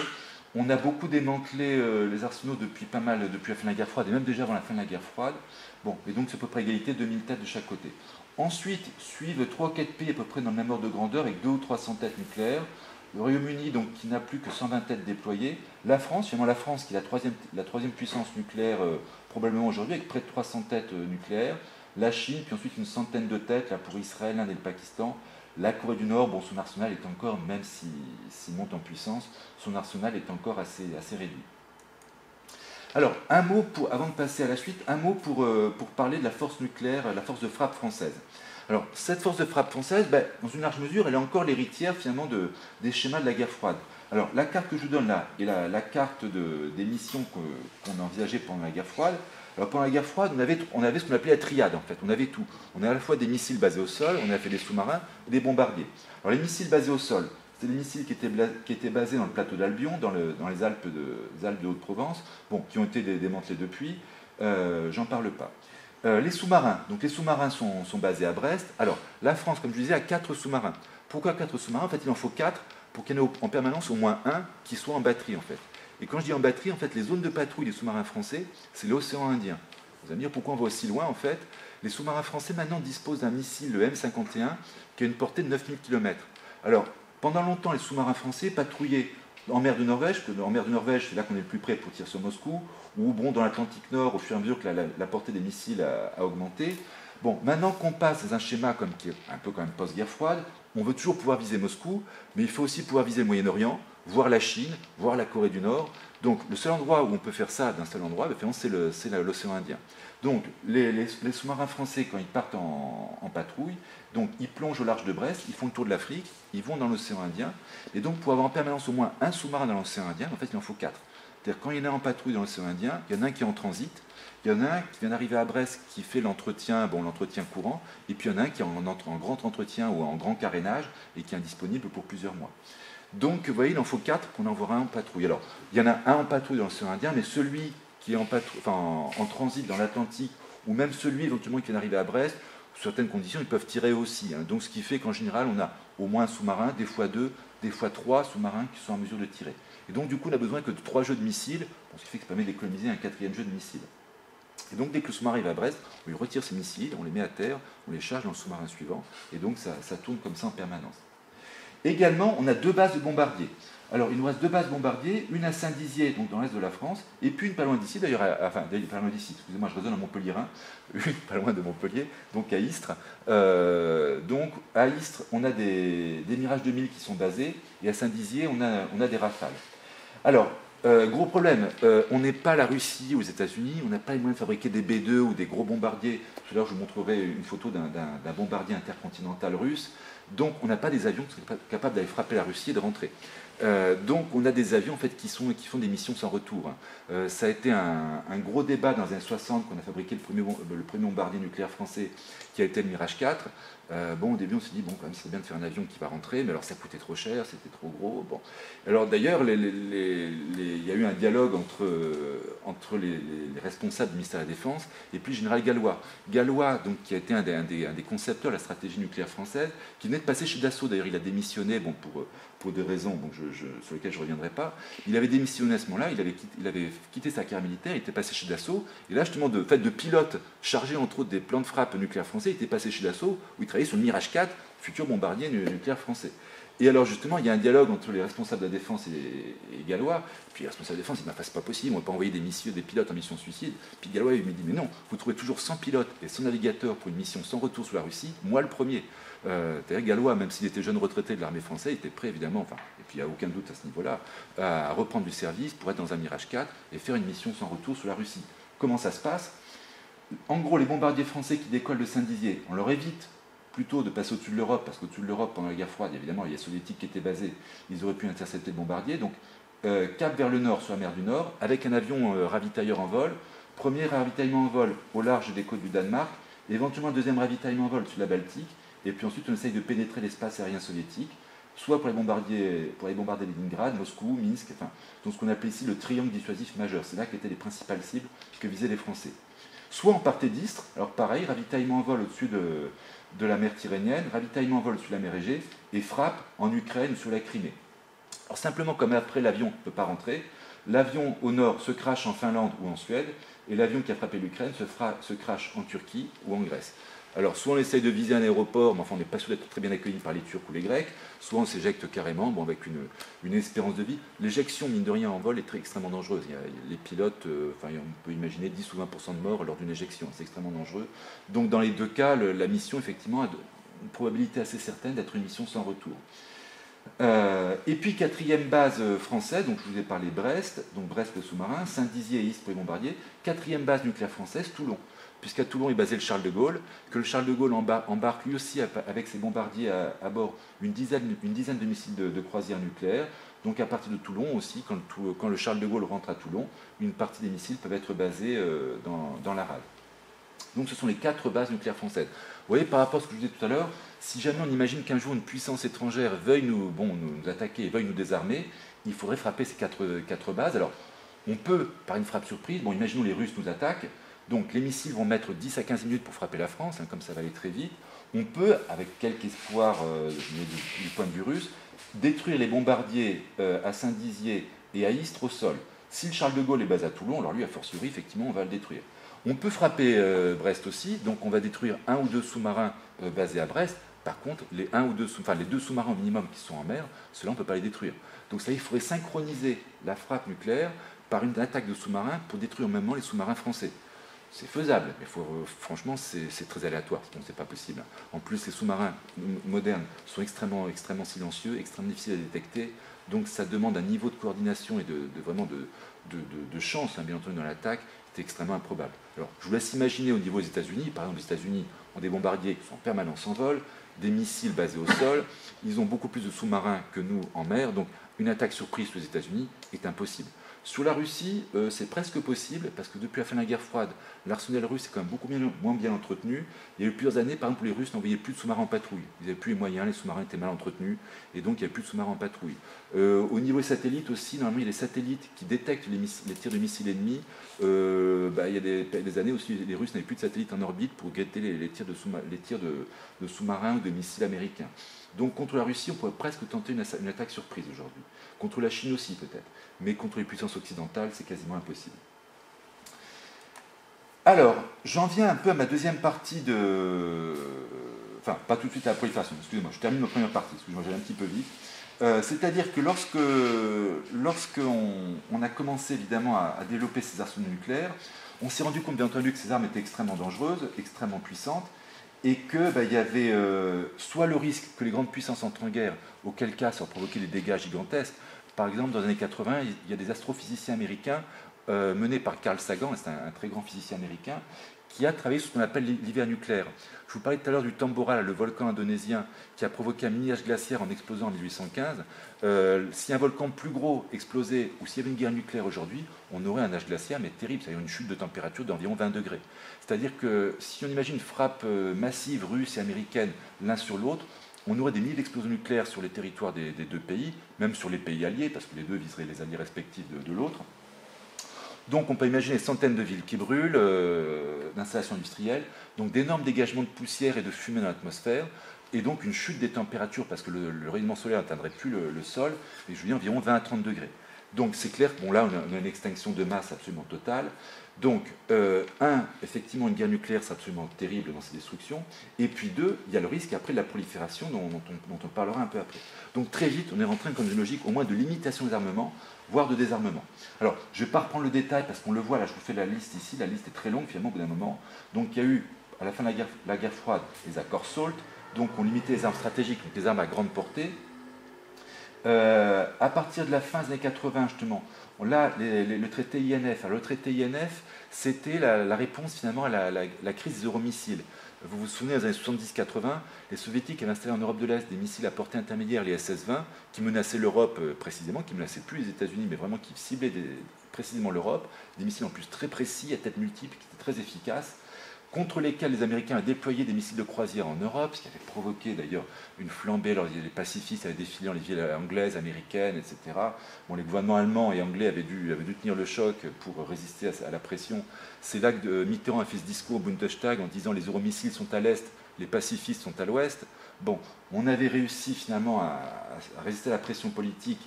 Les Américains ont déployé leurs missiles en, Europe. Et du coup, bah, comme on arrivait à une parité en Europe, on a dit bah, maintenant qu'on a les missiles installés, on les enlève. Euh, donc, traité INF pour retirer les SS-20 d'un côté, les missiles de croisière américains de l'autre. À partir, de la fin, de la guerre froide, là on a des, accords START, 1, 2, 3, bon, qui réduisent massivement les, arsenaux stratégiques, au point que, vous voyez, là je vous dis dans mon, scénario tout à l'heure, enfin mon scénario dans mon tableau, qu'actuellement les grandes puissances avaient 2000 têtes nucléaires déployées. Au pic de la guerre froide dans les années 80, l'Union soviétique avait plus de 40 000 têtes nucléaires en stock, les Américains 25 000, bon, quelques centaines de têtes donc, euh, pour les, puissances nucléaires moyennes. Donc au début des années 80, on a 80 000 têtes nucléaires sur Terre, pratiquement. Aujourd'hui, on est tombé à 4, 000, 5 000 têtes nucléaires. Donc on avait vraiment des arsenaux absolument gigantesques. Euh, des arsenaux absolument gigantesques. Alors, d'une part, je, me répète, on a essayé de, réduire ces, arsenaux. Deuxièmement, euh, bah aussi, il faut essayer de limiter le nombre de puissances qui vont avoir de tels arsenaux. Alors, ça sera justement bah, ma deuxième partie de l'exposé, donc la logique de la lutte contre la prolifération. Alors, la lutte contre la prolifération, ça naît dans les années 60. On se dit, bon, ben, en gros, on, voit qu'il y a 4 ou 5 pays, à peu près les mêmes, qui vont avoir les, armes nucléaires. Bon, cela, c'est impossible à arrêter. On se limite à ça. Et puis, on va faire en sorte qu'il n'y ait pas d'autre puissance qui ait d'armes nucléaires.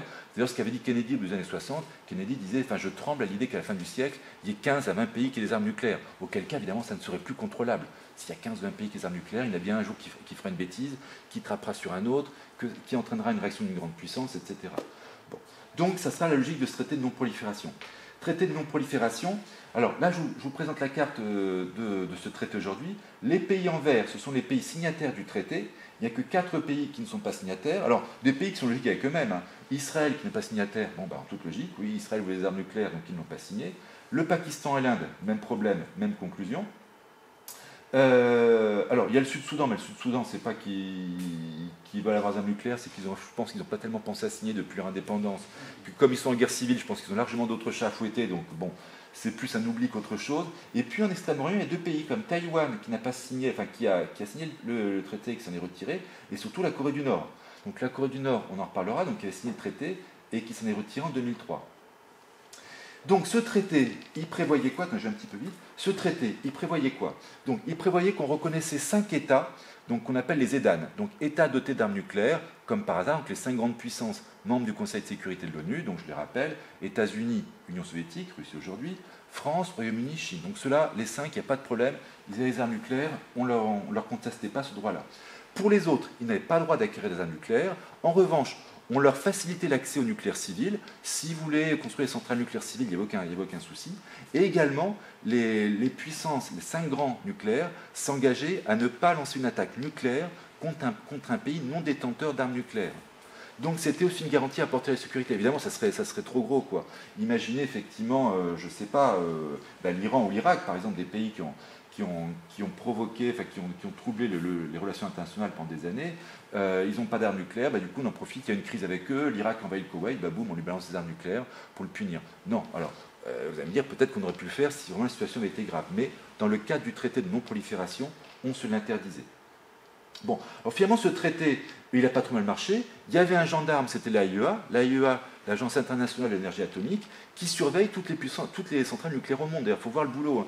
Parce que les centrales nucléaires, par exemple, produisent du plutonium, sans le faire exprès. Ce plutonium, quand on retraite les déchets, on peut en extraire. Donc vous pouvez fabriquer les armes à partir de là. Euh, l'uranium, pour en produire, l'uranium hautement enrichi, bon, là, il faut vraiment des usines particulières, c'est pas discret, ça se remarque. Mais un État doté de, centrales nucléaires peut fabriquer les armes nucléaires un petit peu en douce. Sauf que s'il y a un gendarme qui contrôle euh, chacune de leurs centrales, bon, ben, normalement, euh, normalement, plus ça a marché, pour la plupart d'entre eux au moins, ben, justement, on empêche ce pays d'avoir des armes nucléaires. Donc finalement, ce TNP, ce traité de non-prolifération, il a pas mal marché quand même. Alors il a pas mal marché, je résume ça un peu dans le tableau suivant que je vous présente, où en fait, alors à la fois ce, tableau il résume ce problème de la prolifération, puis également ce qu'on appelle la notion de seuil. La notion de seuil, c'est quoi? C'est des États qui pourraient avoir des armes nucléaires, qui n'en ont pas, mais qui sont pas loin d'en avoir en fait. Alors ça dépend en fait de deux critères, à la fois des capacités techniques, est-ce que ce pays technologiquement a les connaissances pour fabriquer des armes nucléaires, puis est-ce qu'il le veut politiquement? Alors, quand la réponse est oui, oui, bah, vous avez une puissance nucléaire. Donc on a les cinq puissances nucléaires, donc les cinq EDAN, États dotés d'armes nucléaires, donc je ne les rappelle pas, et puis les quatre autres, Israël, Inde, Pakistan, Corée du Nord. Donc ceux-là, ce sont les neuf puissances nucléaires, parce qu'effectivement, ils ont vu les armes, ils ont développé la technologie, donc il n'y a pas de problème.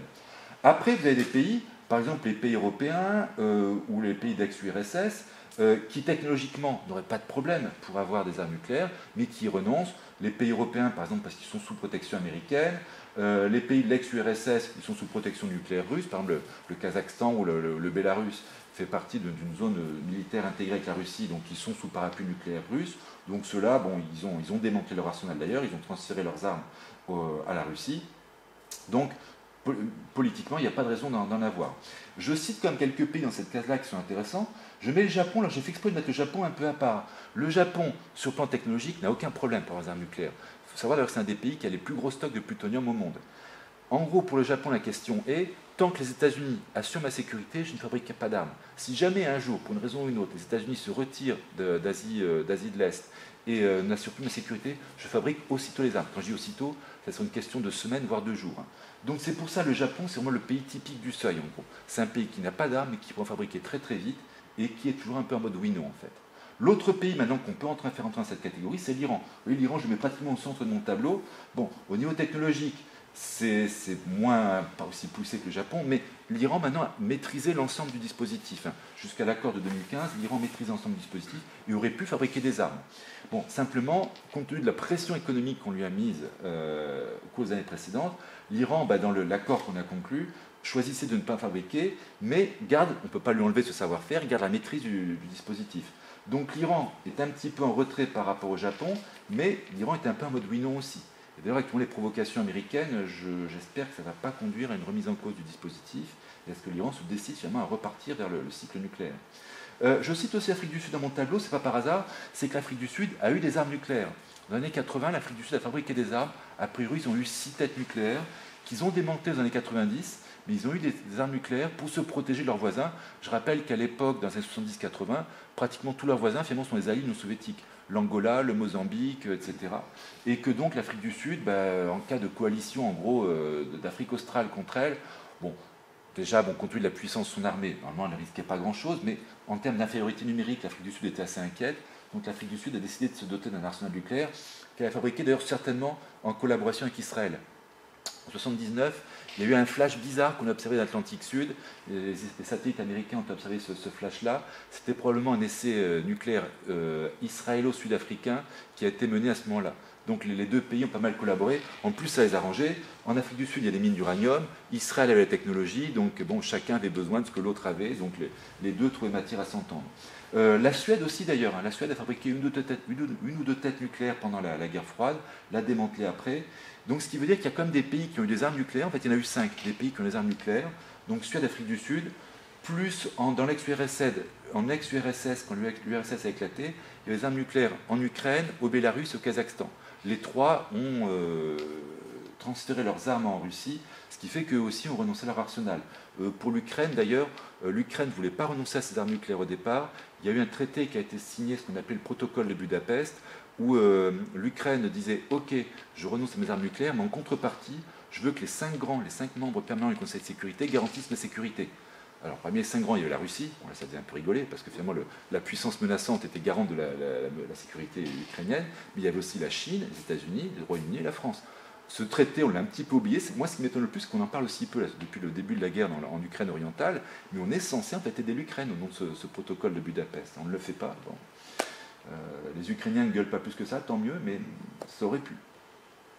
Ensuite, je cite quelques pays. Alors, l'Arabie Saoudite et l'Égypte, qui sont, euh, je les ai rapprochés du centre du tableau.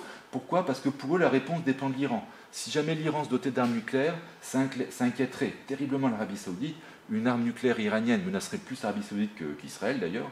Donc l'Arabie Saoudite, euh, bon, pour le moment, elle est un petit peu là, mais si jamais l'Iran développait des armes, probablement l'Arabie Saoudite déclencherait elle aussi un, programme nucléaire accéléré pour, fabriquer des armes assez vite. Et l'Égypte, pareil également. Le Myanmar, donc l'ex-Birmanie, a eu un comportement assez bizarre aussi. On a intercepté des cargos qui transportaient des équipements nucléaires dont a priori le Myanmar n'a pas besoin. Donc le Myanmar, bon, sur le plan technique, il n'en a pas la capacité, souvent le plan de la volonté politique, a priori, le Myanmar a eu la, volonté de, se doter d'armes nucléaires. Dans le tableau, j'aurais fait ce tableau il y a 6-7 ans, j'aurais mis également à peu près euh, pas loin du Myanmar euh, la Libye ou, la Syrie par exemple. Euh, la Syrie, par exemple, s'était dotée d'un programme nucléaire. Donc la Syrie avait acheté un réacteur nucléaire aux, Nord-Coréens qu'ils avaient installé dans l'est de, la Syrie, à Derezor, et c'est les Israéliens qui ont bombardé ce réacteur nucléaire en 2007. Euh, frappe furtive, on en a peu parlé, euh, les Israéliens ont fait une frappe magistrale qui a été extrêmement discrète. A priori, il y a 10 Nord-Coréens qui ont été tués dans, la frappe israélienne. Les Nord-Coréens n'ont rien dit. Hein. Euh, mais la Syrie, elle essaie de se doter d'un arsenal nucléaire. Bon, alors justement, je, vais, bon, je, vais, vous dire quelques mots sur le, programme nucléaire iranien et puis ensuite le programme nord-coréen, puisque ce sont les deux États proliférants dont on parle beaucoup. Alors, quand je vous parle du programme nucléaire iranien, je commence par une photo d'un bonhomme avec le drapeau pakistanais en, arrière-fond. Euh, Ce n'est pas par, hasard, c'est que cet individu est le père du programme nucléaire pakistanais, c'est le docteur Abdul Khan. Alors, Abdul Khan, c'est qui? C'est quelqu'un qui, dans les années 70, travaillait dans l'industrie nucléaire euh, hollandaise. Et alors, dans les années 70, 74, l'Inde fait exploser sa première bombe atomique. Donc, le dictateur euh, pakistanais de l'époque, Ziaoulak, a une politique simple, je cite le Pakistan, aura la bombe, même si les Pakistanais doivent manger de l'herbe. Donc euh, ça a coûté le fric que ça coûterait, peu importe, le Pakistan aura la bombe. Et alors Bazia Oulak va s'adresser à Abdul Khan. Euh, il va le voir, il va lui dire, bon, bah, enfin, il va le voir, pas personnellement, mais enfin, il contacte Abdul Khan, il lui dit, bon, tu connais l'industrie nucléaire euh, occidentale de haut niveau, tu as des plans à disposition, prends tout ce que tu peux aux Pays-Bas, puis rentre au pays en gros. Ce que, Khan va faire, effectivement, il va photocopier des dizaines de plans, de documents, de tout. Il va rentrer effectivement aux, Pays-Bas avec, avec tous ces plans-là. Euh, aux Pays-Bas, au Pakistan, pardon. Alors là, en plus, ensuite, il va acheter ben, euh, tous les équipements qu'il faut. on mesure à l'époque la facilité avec laquelle on a acheté ça. Il va acheter des équipements en Union soviétique, aux États-Unis, en France, en Angleterre, partout, et sans problème. Et ce qui fait qu'en une quinzaine d'années, ben, Abdul Khan va effectivement va arriver à doter le Pakistan de, l'arme nucléaire. Alors Abdul Khan au Pakistan, c'est un héros national. Alors ça aurait pu s'arrêter là, euh, Abdul Khan aurait pu rester effectivement le héros pakistanais qui a doté son, pays de la bombe, sauf qu'Abdul Khan va continuer à travailler pour son propre compte. C'est-à-dire que maintenant que ces, usines contrôlent tout le processus nucléaire et qu'elles tournent, ben finalement il va vendre ses équipements à qui en veut. Alors il va en vendre aux Libyens, il va en vendre aux Irakiens, oh non aux Irakiens pas trop d'ailleurs justement, il va en vendre aux Libyens, un peu aux Syriens et surtout aux Iraniens. Euh, on le sait parce que par exemple en 2003, quand euh, Kadhafi va renoncer à son programme nucléaire, il va ouvrir ses, sites aux inspecteurs internationaux. Et on va retrouver dans une usine euh, nucléaire libyenne les plans d'une arme nucléaire chinoise transmise par les Pakistanais.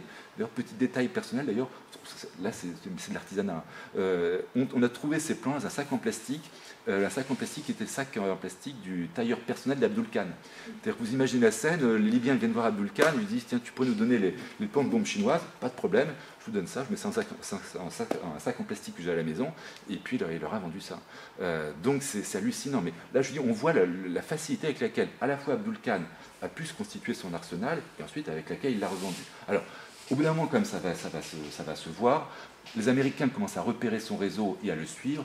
Dans les années 90, son réseau est en partie démantelé. Une bonne partie des, lieutenants d'Abdul Khan sont arrêtés, emprisonnés. Euh, Abdul Khan, alors, les Américains exercent une pression très forte sur le Pakistan pour l'arrêter, pour le mettre en prison. Alors, bon, au Pakistan, c'est pas possible. Donc, Abdul Khan est assigné à résidence dans un de ses palaces. Il n'est pas trop malheureux. Euh, mais son réseau, a priori, n'a pas été entièrement démantelé. Hein. Les Iraniens vont bénéficier des, reventes du matériel en question pendant un bon moment. Alors, pour les Iraniens, bon, je vais passer un petit peu vite sur le système iranien parce que je ne veux pas, qu'on y passe trop de temps.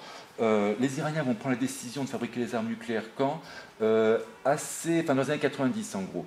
Euh, dès les années 70, en fait, le Shah s'était doté déjà de centrales nucléaires, notamment la centrale de Boucher. Tiens, je j'ai un plan quelque part.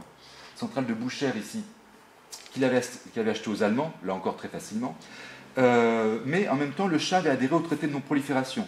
Donc, il y avait peut-être un, comment dirais-je, un double discours de la part du Shah, mais enfin en même temps, dans les faits, rien ne montrait qu'il voulait se doter d'un arsenal nucléaire. En 79, révolution islamique, l'ayatollah Khomeini prend le pouvoir en Iran, il y a la guerre avec l'Irak un an plus tard. Euh, alors en même temps, il y a la guerre avec l'Irak, au moment où lui, Saddam Hussein, essaye d'avoir les armes nucléaires, euh, et puis alors lui, euh, il met les bouchées doubles. Alors il met les bouchées doubles, il construit un réacteur nucléaire vendu par la France, donc le réacteur d'Osirak, qui va être à peu près ici, là, pas loin de, Bagdad. D'ailleurs, les Israéliens l'appelleront au Chirac, ce réacteur, parce que comme c'est Chirac qui a vendu ça, les Israéliens, évidemment, qui sont furieux qu'un pays arabe puisse éventuellement avoir des armes nucléaires, donc en veulent à Chirac, et pour se moquer de lui, ils l'appellent le réacteur au Chirac. Alors les Israéliens, évidemment, qui sont toujours très bien informés, suivent l'affaire de très près, ce qui fait qu'en 81, les Israéliens lancent là encore un raid, un peu le même que celui sur la Syrie. Hein. Ils lancent un raid éclair sur les réacteurs d'Osirak, détruisent la centrale, et puis règlent le problème du, programme nucléaire irakien pour plusieurs années. Mais bon, les Iraniens ont peur quand même, parce qu'ils se rendent compte que les Irakiens se lancent dans un programme de ce type-là. Pendant la guerre Iran-Irak, ils ont subi les frappes chimiques irakiennes aussi. Ils ont riposté, mais avec retard, parce que leur programme n'était pas aussi avancé. Donc ils se disent quand même, euh, bon, les armes nucléaires, en plus le Pakistan à côté a les armes nucléaires aussi, la Russie au nord, enfin, le, Israël à, l'ouest, donc c'est peu de choses que de dire que le coin est très dangereux. Alors en même temps, Khomeini ne veut pas d'armes nucléaires, parce que pour lui c'est contraire aux préceptes islamiques, donc pendant les années 80, le programme euh, bah, n'existe pas en fait. Khomeini meurt en 88, en 91, il la guerre du Golfe, on voit ce qui arrivait à une armée, euh, bah, une armée de, de en fait, face à une coalition internationale. Donc pour l'Iran, la conclusion est claire. Euh, si jamais les Américains nous attaquent un jour, ça sera comme pour l'Irak, on ne fera pas le poids. Euh, on est entouré de puissances nucléaires. Euh, sur les armes chimiques, on était en retard, donc il nous faut les armes nucléaires aussi. Donc, dans les, années 90, les Iraniens se lancent dans le programme nucléaire. Alors, programme qui va mettre extrêmement longtemps, en fait. Les Iraniens vont ramer, hein, très franchement. Alors, et ils vont ramer, et pourtant, vous voyez, les Pakistanais leur vendent un peu tout ce qu'il leur, leur, faut. Je passe au détail des équipements nucléaires, mais ils leur, ils leur vendent vraiment beaucoup de matériel. Alors, pourquoi ils mettent autant de temps? Bon, un, leurs scientifiques au départ ne sont pas très bons. Manifestement, ils font beaucoup d'erreurs, euh, c'est clair. Euh, deux, et en plus, ils font les, mauvais choix, scientifiques, ils partent sur de mauvaises, hypothèses au départ. Bon, puis en plus, les Israéliens leur mettent des bâtons dans les roues. Hein. Euh, les Israéliens lancent tout un tas d'assassinats pour, tuer les, responsables du, programme nucléaire iranien. ils vont lancer aussi des cyberattaques. à la fin des années 2000, enfin en 2007, probablement 2008, il y a notamment une attaque qui est rentrée dans la légende, je dirais, des cyberattaques. Euh, Israël a lancé donc un, virus euh, Stuxnet contre le programme nucléaire euh, iranien. C'est-à-dire, en gros, pour entrer dans le détail, donc, je vous disais, il faut l'uranium enrichi pour fabriquer une bombe. Les bombes les plus simples fonctionnent à l'uranium. Donc, il faut l'uranium enrichi. Alors, comment on fait? On, on gazéifie l'uranium on crée un gaz de l'hexafluorure d'uranium et on fait tourner ce gaz à toute vitesse dans une centrifugeuse. Comme il y a deux isotopes d'uranium, 235 et 238, le 238 est plus lourd, il va à la périphérie de la centrifugeuse, le 235 reste au centre, et donc en faisant tourner une centrifugeuse très vite, on va progressivement enrichir l'uranium. Alors c'est très long ce, processus, mais ça marche à la longue. Alors le problème c'est que les Israéliens ont réussi à introduire ce, virus informatique dans le programme centrifugeuse.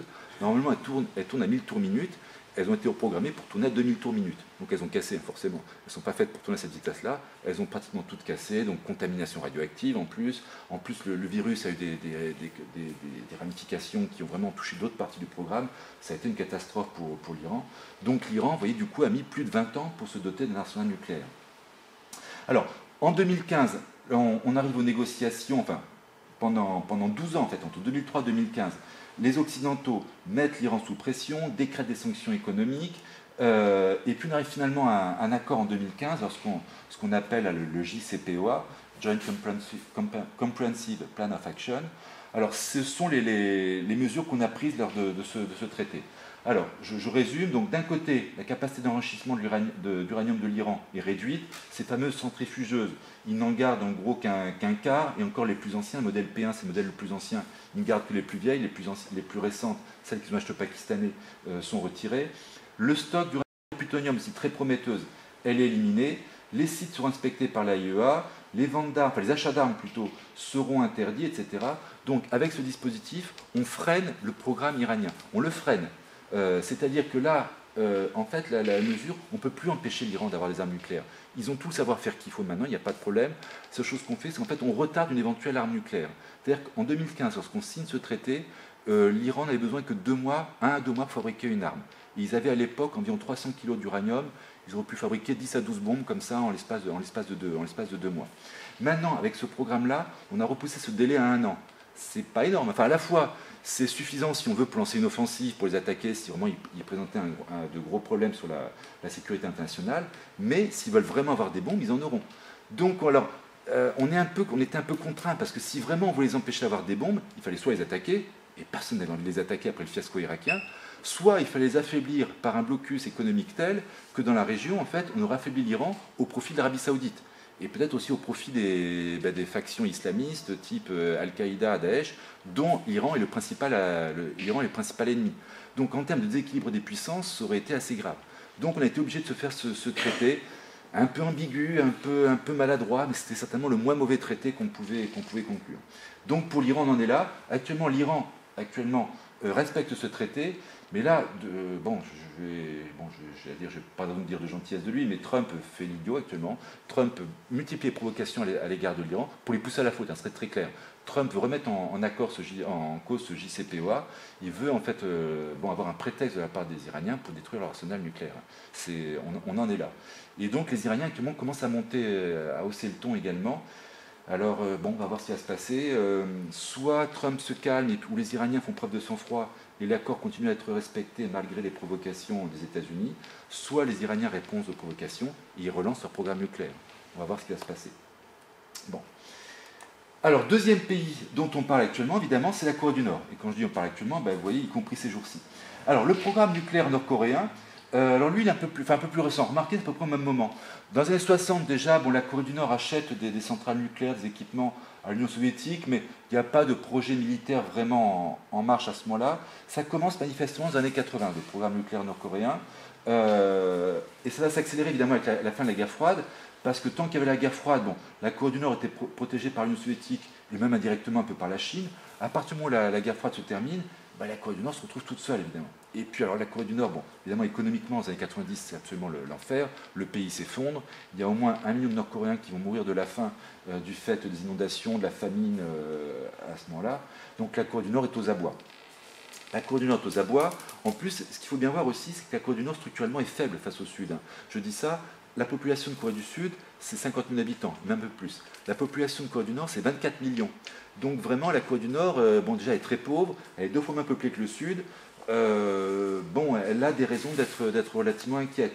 Euh, et puis, les dictateurs nord-coréens successifs, évidemment, par exemple, en 2003, ils ont vu ce qui est arrivé à Saddam, Hussein.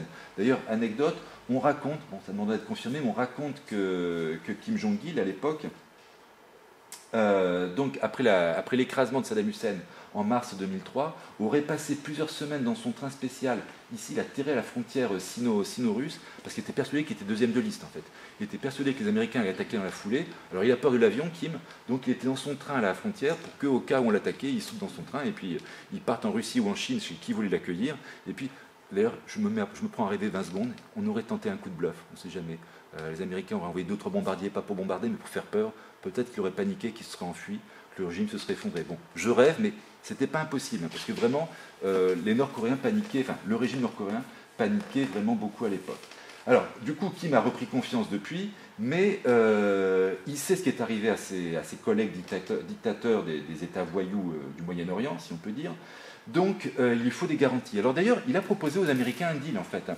En 2002-2003, il a proposé un deal, il leur a dit, bon, en gros, ok, j'arrête mon programme, vous pourrez respecter mes sites nucléaires, mais en contrepartie, je veux une garantie comme quoi vous ne m'attaquerez jamais. Vous signez un traité en bonne et due forme, un peu comme avec Cuba d'ailleurs, puisque Cuba, après la crise des missiles 62, euh, les Américains ont pris l'engagement de jamais attaquer Cuba. Donc un peu la même chose avec la Corée du Nord. Sauf que les Américains n'ont jamais voulu signer ce traité.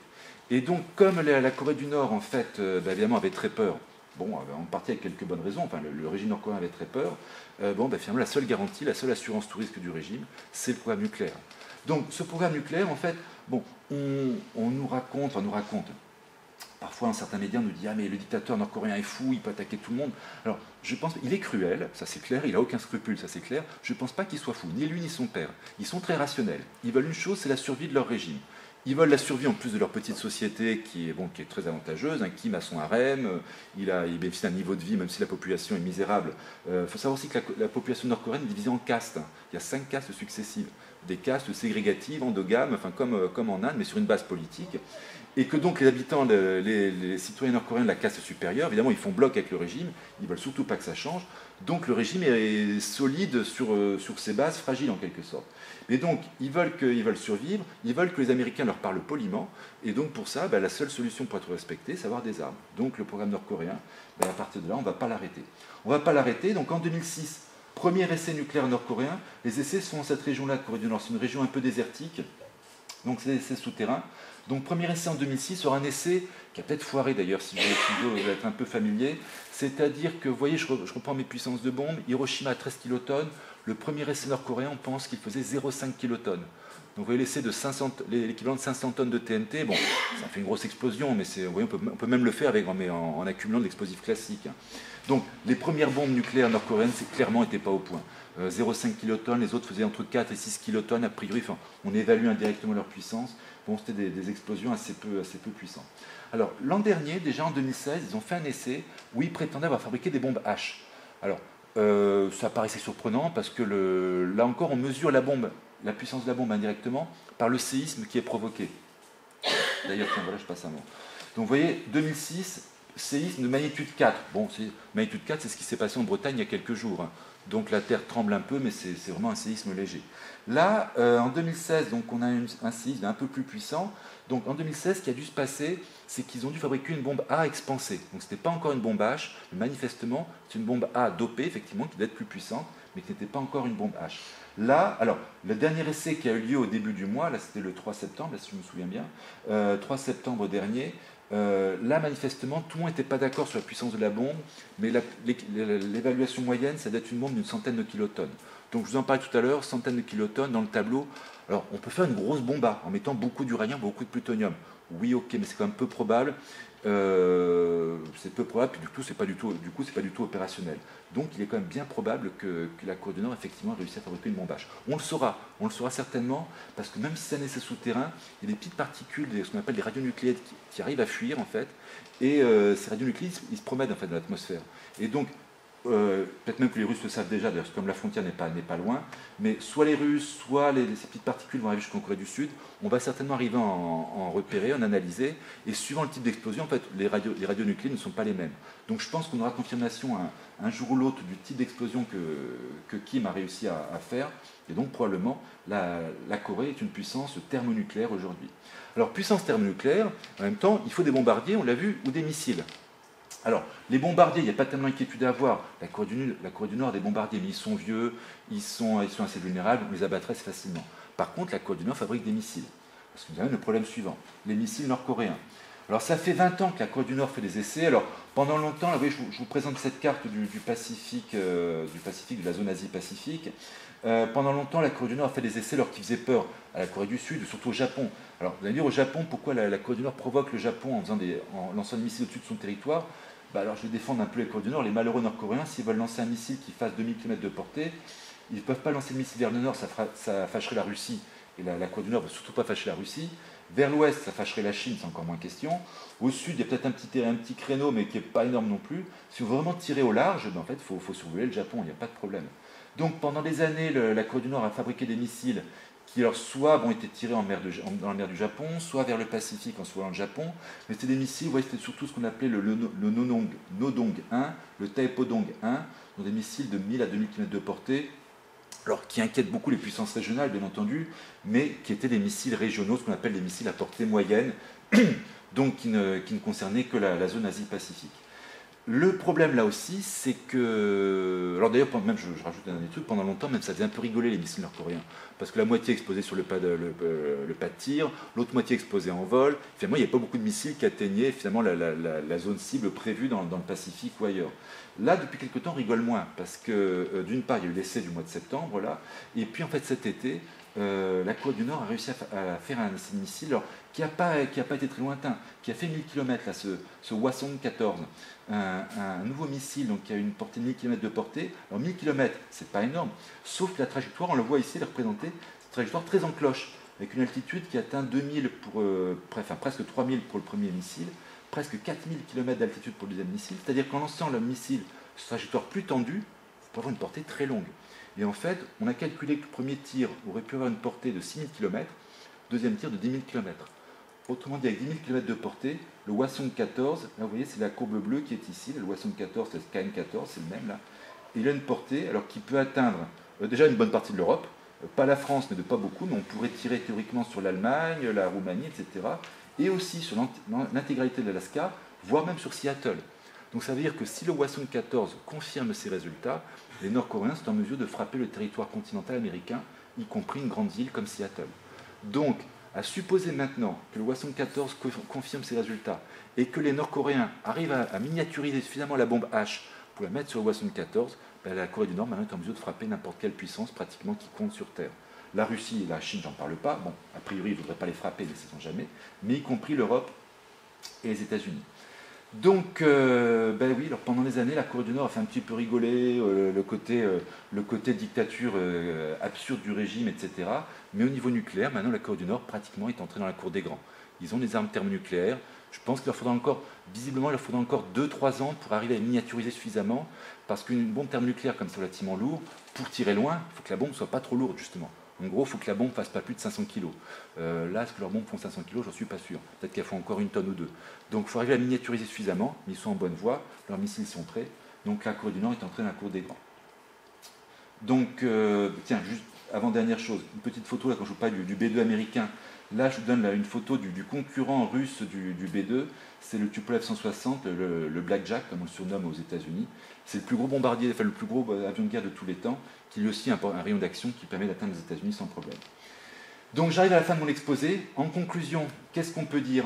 Alors, conclusion un peu contrastée. Entre grandes puissances, c'est clair que le nucléaire a perdu son importance. Par exemple, en 2010, les Américains ont publié un document par lequel ils expliquent leur nouvelle stratégie nucléaire. Ben, alors, ce qu'ils expliquent, c'est qu'en fait, le nucléaire, on l'utilise de moins en moins. Pendant la guerre froide, c'est clair que pratiquement la première crise, la première crise serait devenue nucléaire, et même pendant les années 90. Là, ce qui a été publié en 2010, et les Russes font la même chose d'ailleurs, c'est que de plus en plus, il y a des cas dans lesquels on n'utiliserait pas le nucléaire. On riposterait autrement, on riposterait pas, on verrait. Mais le nucléaire, entre grandes puissances, est de moins en moins, de moins, en moins utilisé. Donc, ce qui fait que la dissuasion, a priori, est un concept en recul. Concept en recul aussi parce qu'on a intégré finalement, pendant la guerre froide, finalement, on a certainement eu besoin des armes nucléaires pour ne pas se faire la guerre. On était tellement dans une logique de guerre après les deux guerres mondiales vous prenez les, responsables américains des années 60, par exemple, vous prenez Lemay, par exemple. Lemay, c'est le général américain qui a mené les bombardements sur le Japon en 1945. C'est lui qui te commande du stratégique qui recommande euh, américain des années 60. Lemay, c'est un type, on, on a trouvé des déclarations de lui, il explique, on lui dit, bah tiens, si on envisageait une frappe restreinte sur la Russie plutôt qu'une frappe générale. Et Lemay répond, mais c'est quoi une frappe restreinte? Toute l'idée, je cite, est de tuer ces enfoirés. Si au bout du compte, il reste un russe et deux américains, on aura gagné. Euh, donc l'idée pour Lemay, ses équivalents russes, c'est de faire des frappes massives, on détruit tout, on détruit tout. Mais c'est des hommes qui ont connu la guerre totale. Donc psychologiquement, ils sont formés à cette ultra-violence, et bon, finalement, ils baignent là-dedans. L'arme nucléaire, finalement, certainement, a été nécessaire pour que la guerre froide ne devienne pas chaude, c'est une évidence, et pour, finalement, finalement, désapprendre la guerre aux grandes puissances. Donc, pour ces grandes puissances, la, dissuasion a certainement rempli son rôle. On a finalement du coup moins besoin de l'arme nucléaire. Par contre, le problème, c'est que maintenant, ce sont les puissances proliférantes qui prennent le relais. Alors, on a deux puissances régionales ennemies, l'Inde, le Pakistan, qui se regardent en chaîne de faïence, alors qui aussi, du coup, ne se font plus la, ne, se font plus la guerre depuis qu'elles ont des bombes. Mais, mais, les crises sont quand même dangereuses maintenant, tous les deux. On a Israël qui est, aux aguets ben, parce que, effectivement, euh, le Pakistan, euh, puissance islamique, a la bombe, donc ça l'inquiète. L'Iran peut-être un jour, et l'Iran, effectivement, c'est un des pays clés, et avec, avec la Corée du Nord, c'est l'autre pays clé. La dernière remarque par laquelle je vais finir, c'est que peut-être, finalement, nous, les grandes puissances, surtout les occidentaux, on a encouragé la prolifération. Pourquoi? On avait dit finalement effectivement à ces puissances moyennes du tiers-monde, on ne vous attaquera pas avec des armes nucléaires. On ne les a pas attaqués avec des armes nucléaires, effectivement. Mais par contre, qu'est-ce qui s'est passé? On a attaqué Kadhafi à la première occasion, on a attaqué Saddam Hussein à la première occasion. L'Ukraine, qui avait transmis ses armes nucléaires à la Russie, a cru effectivement aussi en la parole des grandes puissances, et la Russie leur envahit la partie orientale de son territoire. Puis à côté de ça, vous avez la Corée du Nord, qui, elle, maintenant qu'elle a des armes, est inattaquable.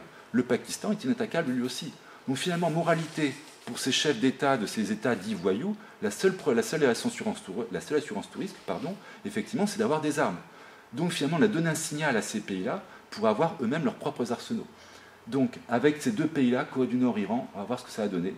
Ça, l'avenir nous le dira. Merci pour votre attention.